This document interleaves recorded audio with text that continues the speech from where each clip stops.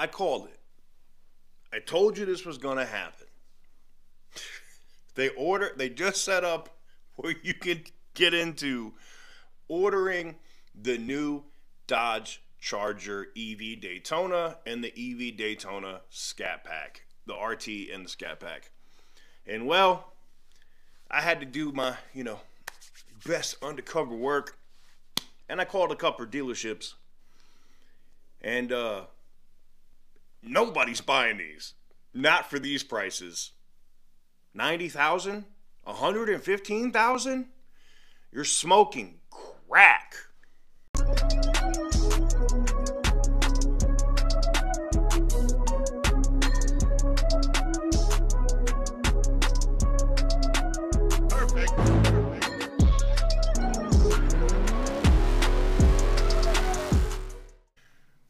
Welcome on back to TK's Garage. And well, the bullshit knows no bounds when it comes to dealers.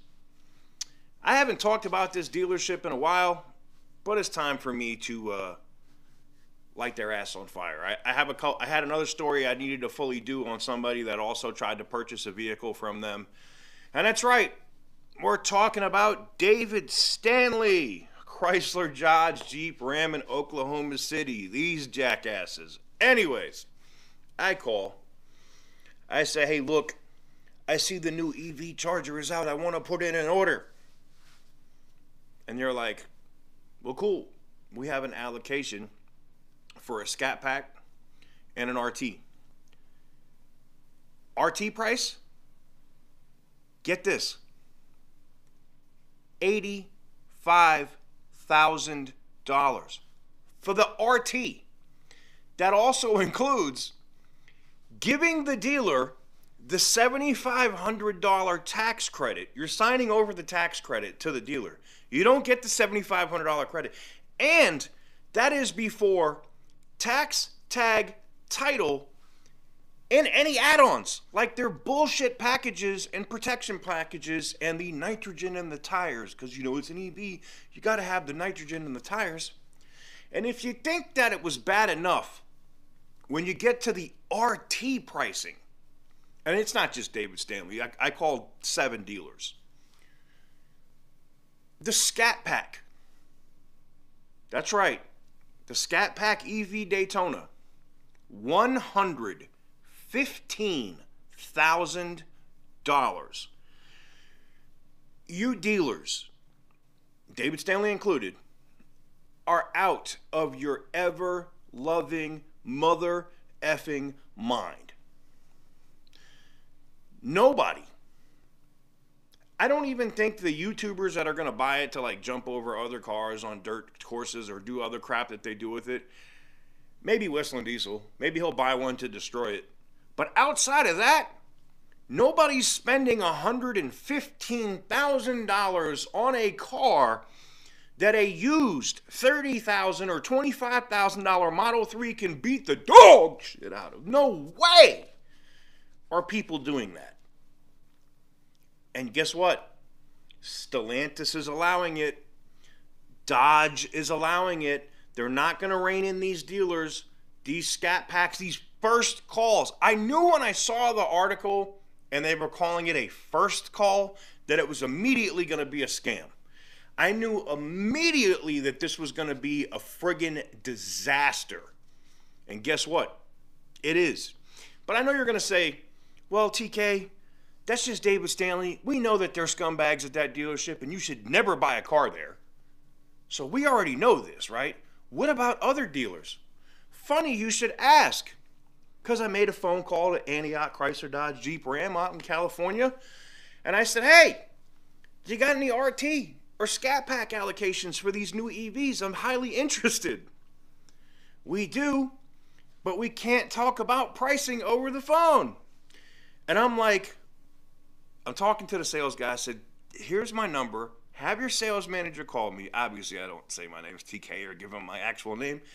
I'm ready to buy now. I can initiate a wire transfer or sign financing documents on this vehicle today. I hang up. It doesn't take but literally It literally took, I don't know, uh, probably five minutes before I get a phone call back. And they go, Yeah, uh, we do have a couple of allocations. He goes, There is a market adjustment uh, tied to these of $35,000. Uh, if you're okay with that, we can get some information going. And if you're willing to pay the market adjustment now and uh, sign some financing, we can we can go ahead and put your name first on the list to, to pick these up as we get these allocations.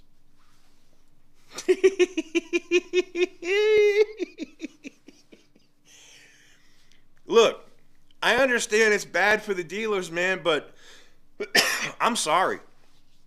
Nobody for the for the price of the adjusted markup for the price of the adjusted markup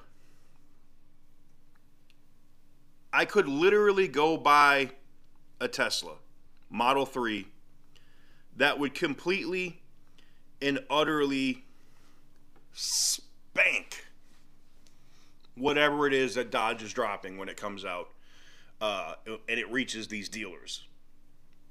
The first call is going to be a absolute frigging disaster.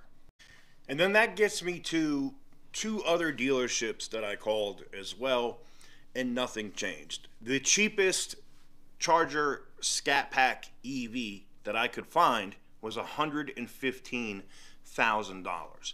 Some people had these as high as 130 and of course they're going that's just asking price. We're letting people bid on these. Does it sound familiar to you?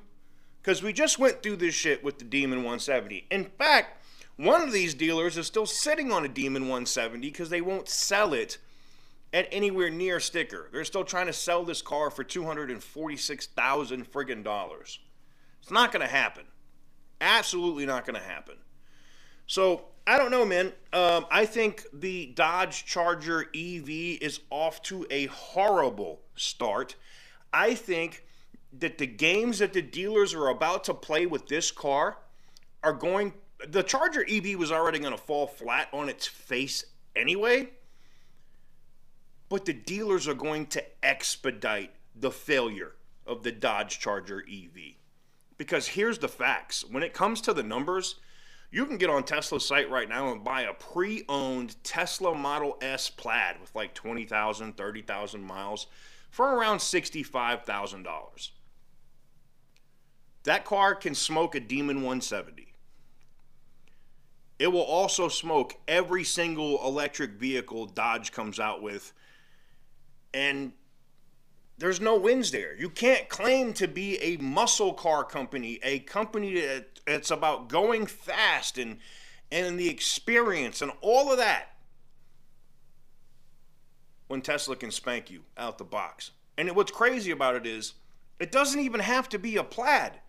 You can get lower trim models of the Tesla Model 3 that are going to beat the dog crap out of both of these cars. Watch for the YouTube videos that are going to drop on how bad Dodge loses to like a multitude. It won't even just be Teslas, there'll be Kias, Hondas, spanking this Dodge Charger EV. It's bad. It's bad. I don't know. Let me know what you guys think in the comment section down below. I got to be honest with you. I just don't see I, I thought the dealers might try to play some games with these cars at like, I don't know, five grand, like adjusted markup or something. But to try to sell these cars like they're Demon 170s, like, or last call editions, because it's a first call, to try to sell, to try to push all of this money on these vehicles and they already aren't going to sell as it is, oh boy, Stellantis has a massive problem. Let me know what you guys think in the comment section down below. If you don't believe me, go over to dodgegarage.com, go into the, the horsepower locator, call a couple deal, dealers yourself and see what they tell you the prices are, and then let me know in the comment section down below. Till next time, thank you guys very much for watching. I truly appreciate it, and I'll catch you guys on the next one.